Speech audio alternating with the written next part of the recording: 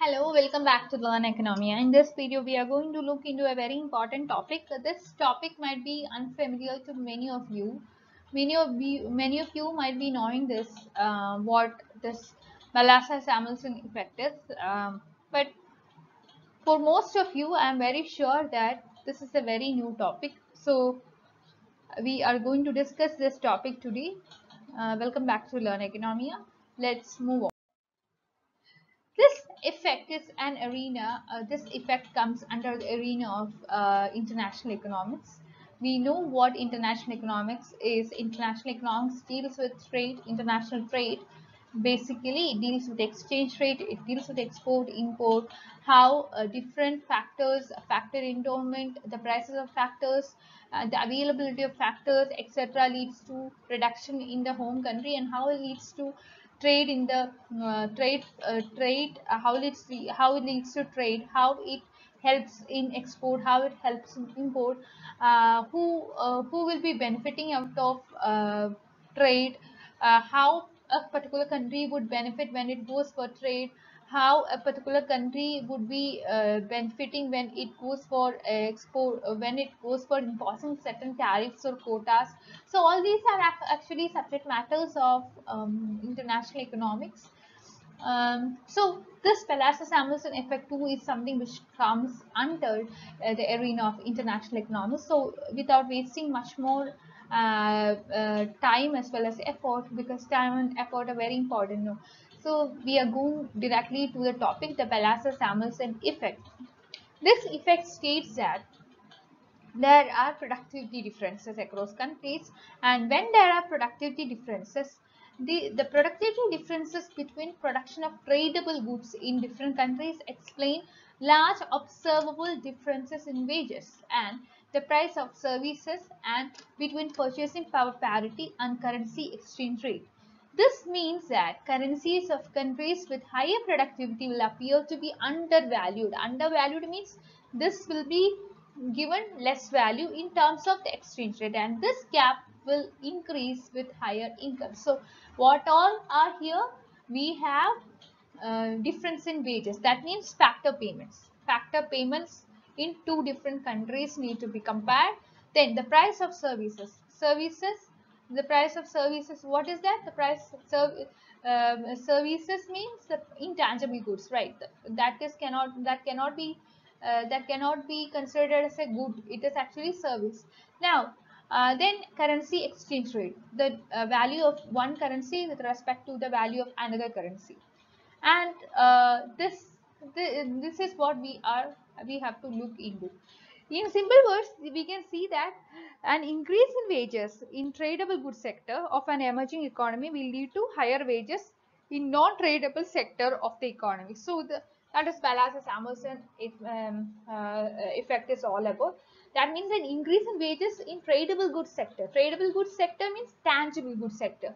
If you are looking into an emerging economy like India, uh, the if, if wages of people or wages of labor in some tangible commodity. With that particular sector if it is increasing this increase will lead to wages increase in wages in the non tradable sector. Non tradable sector means service sector. That is all about the, this particular uh, Balassa-Samuelson effect tells the same only. That means that when there is an increase in the wages uh, of the people who are involved in the tradable goods sector, this will lead to increase in the wages of the people who are involved in the service sector as well. That's it.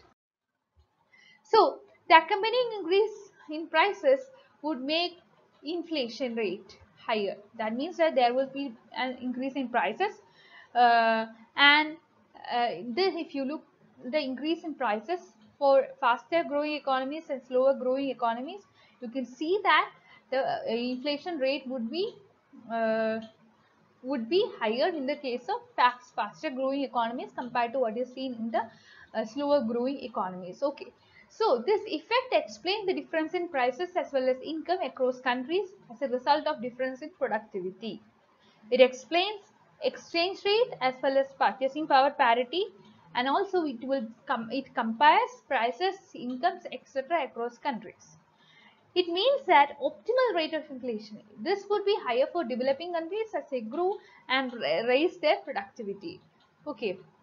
Inflation is something, this is what India is experiencing. You can see that inflation rate in India is growing day by day, right? So that means that uh, for developing countries, uh, there would be more and more inflation, but at the same time, at the same time, what we could see in India is that productivity is increasing, right? So the same thing is explained by the theorem. So um, this theorem is proposed by Balassa and Samuelson, Bela Balassa and Paul Samuelson. It was in 1964 that this particular idea, came, uh, idea was introduced. It identified productivity differences.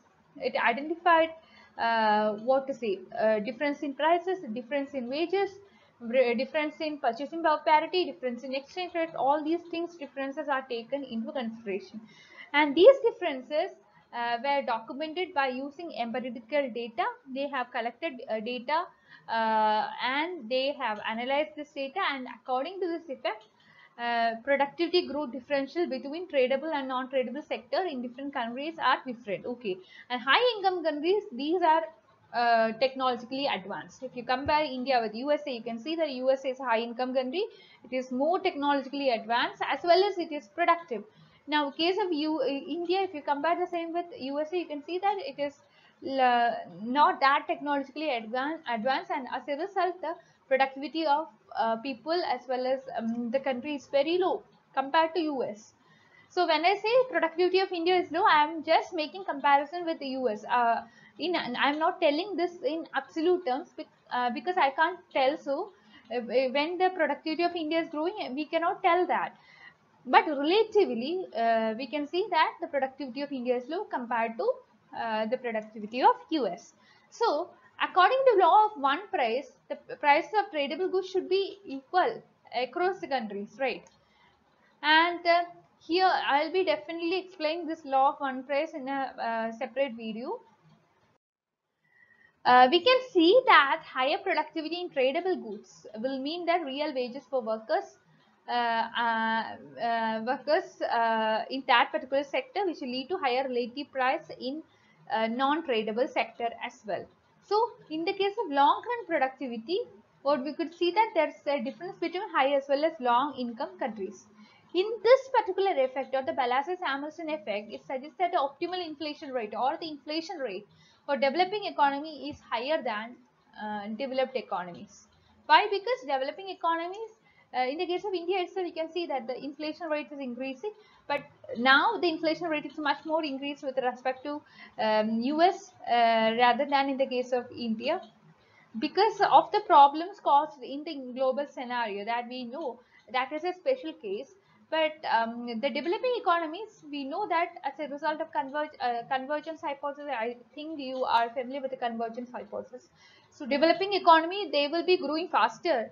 Uh, the rate of growth might be faster compared to the developed economies and they will these countries uh, these economies might be they would be converging. Okay.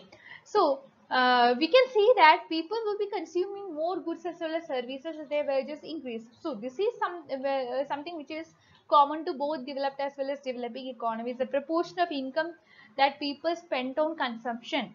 When their income increases the proportion of income that people spend on consumption. I'm not telling about the actual um, amount that people set apart for consumption. I'm telling about the proportion okay?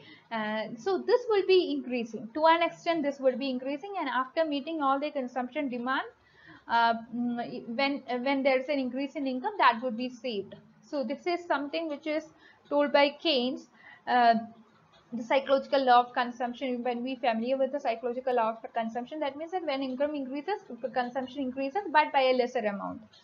Is it so. Definitely consumption increases when income increases but by a lesser amount. Not all the increased income would be spent upon consumption part of it would be saved. And we know that uh, an emerging economy is growing by raising its productivity and in developed economies productivity is already high. We uh, we know the difference between growth and development. Emerging economies should concentrate upon growth as well as development whereas in the case of uh, developed economies these uh, they need not concentrate upon growth. Growth will come automatically there but they what they do is that they uh, concentrate upon development so that's all about today um, please like share and subscribe this channel for more videos and please be part of my telegram group and telegram channel to discuss your doubts I'll be providing the links of both my telegram channel as well as group telegram group in the description box. That's all for today. Thank you.